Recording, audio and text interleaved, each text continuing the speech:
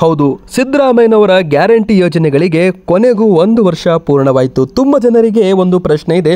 ಒಂದು ವರ್ಷವಾದ ಬಳಿಕ ಐದು ಗ್ಯಾರಂಟಿ ಸ್ಕೀಮ್ಗಳು ಬಂದಾಗುತ್ತಾ ಎಂಬುವ ಪ್ರಶ್ನೆಗೆ ಈಗ ಉತ್ತರ ಸಿಕ್ಕಿದೆ. ನೋಡೋಣ, ಬನ್ನಿ. ಹಾಗೆ ರಾಹುಲ್ ಗಾಂಧಿ ಅವರು ಕೂಡ ಹೊಸ ಒಂದು ಘೋಷಣೆ ಮಾಡಿದ್ದಾರೆ. ಅದು ಘೋಷಣೆ ಬಗ್ಗೆನೂ ಕೂಡ ಮಾಹಿತಿ ನೋಡೋಣ. ಮತ್ತೆ ಮಿಸ್ಲೀಡಿಂಗ್ ಇನ್ಫಾರ್ಮೇಷನ್ ಸೋಷಿಯಲ್ ಮೀಡಿಯಾಗಳಲ್ಲಿ ಹರಡ್ತಾ ಇದೆ. ಅದರ ಬಗ್ಗೆನೂ ಕೂಡ ಮಾಹಿತಿ ನೋಡ್ತಾ ಹೋಗೋಣ. ಗೆಳೆಯರೆ, ಬನ್ನಿ. ಈಗ ಒಂದೊಂದಾಗಿ ಕೆಲಸ, ಒಂದೊಂದಾಗಿ ಮಾಹಿತಿ ನೋಡ್ತಾ ಹೋಗೋಣ.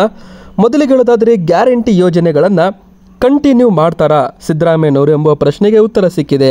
ಹೌದು ಗೆಳೆಯರೆ, ಈಗಾಗಲೇ ಒಂದು ವರ್ಷ ಕಂಪ್ಲೀಟ್ ಆಗಿರೋದ್ರಿಂದ ಸಿದ್ದರಾಮಯ್ಯನವರು ಡಿ ಕೆ ಶಿವಕುಮಾರ್ ಅವರು ಹೇಳಿದ್ದಾರೆ.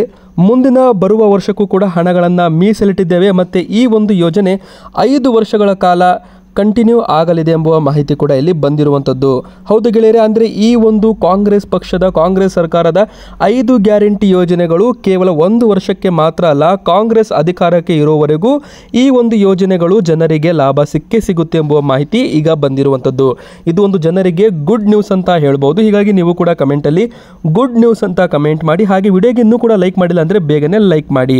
ಹೌದು ಗೆಳೆಯರ ಅನ್ನಭಾಗ್ಯ ಯೋಜನೆ ಆಗಿರ್ಬೋದು, ಗೃಹಲಕ್ಷ್ಮಿ ಯೋಜನೆ, ಎರಡು ಸಾವಿರ ರೂಪಾಯಿ ಆಗಿರ್ಬೋದು, ಯುವ ನಿಧಿ ಯೋಜನೆ ಮೂರು ಸಾವಿರ ರೂಪಾಯಿ, ಸಾವಿರದ ಐದುನೂರು ರೂಪಾಯಿ ಯೋಜನೆ ಆಗಿರ್ಬೋದು. ಮತ್ತು ಹಾಗೆ ಮಹಿಳೆಯರ ಒಂದು ನೆಚ್ಚಿನ ಯೋಜನೆ ಆದಂಥ ಶಕ್ತಿ ಯೋಜನೆ ಈ ಒಂದು ಯೋಜನೆ ಕೂಡ ಕಂಟಿನ್ಯೂ ಆಗಲಿದೆ ಅಂತಲೇ ಹೇಳ್ಬೋದು. ಮತ್ತು ಇನ್ನೊಂದಾಗಿ ಮುಖ್ಯವಾಗಿ ಗೃಹ ಯೋಜನೆ ಎರಡುನೂರು ಯೂನಿಟ್ ಪ್ರತಿ ಮನೆಗೆ ಉಚಿತ ವಿದ್ಯುತ್ ಕೂಡ ಈಗ ಕಂಟಿನ್ಯೂ ಆಗಲಿದೆ.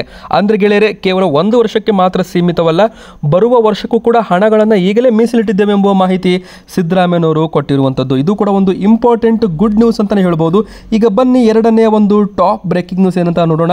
ಕಾಂಗ್ರೆಸ್ ಅಧಿಕಾರಕ್ಕೆ ಬಂದರೆ ಜುಲೈ ನಾಲ್ಕರಿಂದಲೇ ಮಹಿಳೆಯರ ಖಾತೆಗೆ ಹಣ ಜಮಾ ಮಾಡ್ತೀವಿ ಅಂತ ರಾಹುಲ್ ಗಾಂಧಿ ಅವರು ಮಾಹಿತಿ ಕೊಟ್ಟಿದ್ದಾರೆ. ಹೌದು, ಅಧಿಕಾರಕ್ಕೆ ಬಂದರೆ ನಾಲ್ಕನೇ ತಾರೀಕಿನಿಂದ ಮಹಿಳೆಯರ ಖಾತೆಗೆ ಹಣ ತಲುಪುತ್ತೆ. ಪ್ರಚಾರದ ವೇಳೆ ಮಾತನಾಡಿದ ಇವರು ದೇಶದಲ್ಲಿ ಬಡವರ ಹೆಸರನ್ನು ಲಿಸ್ಟ್ ಮಾಡಿ ಪ್ರತಿ ವಾರದಲ್ಲಿ ಒಬ್ಬ ಮಹಿಳೆಯರ ಹೆಸರನ್ನು ಆಯ್ಕೆ ಮಾಡ್ತೇವೆ. ಅದಾದ ಬಳಿಕ ಜುಲೈ ನಾಲ್ಕಕ್ಕೆ ದೇಶದ ಕೋಟ್ಯಾಂತರ ಮಹಿಳೆಯರಿಗೆ ಹಣವನ್ನು ಹಾಕುತ್ತೇವೆ. ಒಂದು ತಿಂಗಳಿಗೆ ಎಂಟು ಸಾವಿರದ ಐದುನೂರು ರೂಪಾಯಿ ಪ್ರತಿ ತಿಂಗಳು ಮಹಿಳೆಯರಿಗೆ ಹಾಕ್ತೇವೆ. ಒಂದು ವರ್ಷದಲ್ಲಿ ಒಂದು ಲಕ್ಷ ರೂಪಾಯಿ ಮಹಿಳೆಯರ ಬ್ಯಾಂಕ್ಗೆ ಹೋಗುತ್ತೆ. ಇದು ವಿಕಾಸ ಎಂದು ಅಂತ ಹೇಳಿದ್ದಾರೆ. ಹೌದು ಗೆಳೆಯರೆ, ಇದು ಒಂದು ಇಂಪಾರ್ಟೆಂಟ್ ಮಾಹಿತಿ ಅಂತ ಹೇಳ್ಬೋದು. ಕಾಂಗ್ರೆಸ್ ಪಕ್ಷದಿಂದ ಬಂದಿರೋ ಒಂದು ಬಿಗ್ ಬ್ರೇಕಿಂಗ್ ನ್ಯೂಸ್. ಆದರೆ ಒಂದು ಲಕ್ಷ ರೂಪಾಯಿ ಬೇರೆಯಲ್ಲ, ಮತ್ತೆ ಎಂಟು ಸಾವಿರದ ಐದುನೂರು ರೂಪಾಯಿ ಬೇರೆ ಅಲ್ಲ. ತಿಂಗಳಿಗೆ ಎಂಟು ಸಾವಿರದ ಐದುನೂರು ರೂಪಾಯಿ ಅಂದರೆ ವರ್ಷಕ್ಕೆ ಒಂದು ಲಕ್ಷ ಎರಡು ಸಾವಿರ ರೂಪಾಯಿ ಆಗುತ್ತೆ.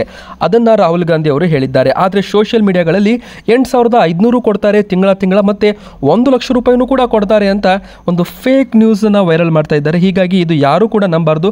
ಕೇವಲ ರಾಹುಲ್ ಗಾಂಧಿ ಅವರು ಏನು ಹೇಳಿದ್ದಾರೆ ಎಂಬ ಮಾಹಿತಿ ಬಗ್ಗೆ ನೋಡೋದಾದರೆ ಜುಲೈ ನಾಲ್ಕಕ್ಕೆ ಕಾಂಗ್ರೆಸ್ ಪಕ್ಷ ಏನಾದರೂ ಅಧಿಕಾರಕ್ಕೆ ಬಂದರೆ ಜುಲೈ ನಾಲ್ಕನೇ ತಾರೀಕಿನಿಂದ ಕೋಟ್ಯಾಂತರ ಮಹಿಳೆಯರಿಗೆ ಒಂದು ತಿಂಗಳಿಗೆ ಎಂಟು ಸಾವಿರದ ಐದುನೂರು ರೂಪಾಯಿ ಪ್ರತಿ ತಿಂಗಳು ಮಹಿಳೆಯರಿಗೆ ಹಾಕಲಾಗುತ್ತೆ ಅಂತ ಹೇಳಿದ್ದಾರೆ. ವಿಡಿಯೋ ಇಷ್ಟವಾಯ್ತಾ ಗೆಳೆಯರೆ, ಹಾಗಾದ್ರೆ ವಿಡಿಯೋಗೆ ಲೈಕ್ ಮಾಡಿಲ್ಲ ಅಂದರೆ ಬೇಗನೆ ಲೈಕ್ ಮಾಡಿ, ಶೇರ್ ಮಾಡಿ, ಹಾಗೆ ನಮ್ಮ ಚಾನಲ್ಗೆ ಸಬ್ಸ್ಕ್ರೈಬ್ ಮಾಡಿ, ಬೆಲ್ ಐಕಾನ್ ಒತ್ತಿ. Thank you so much.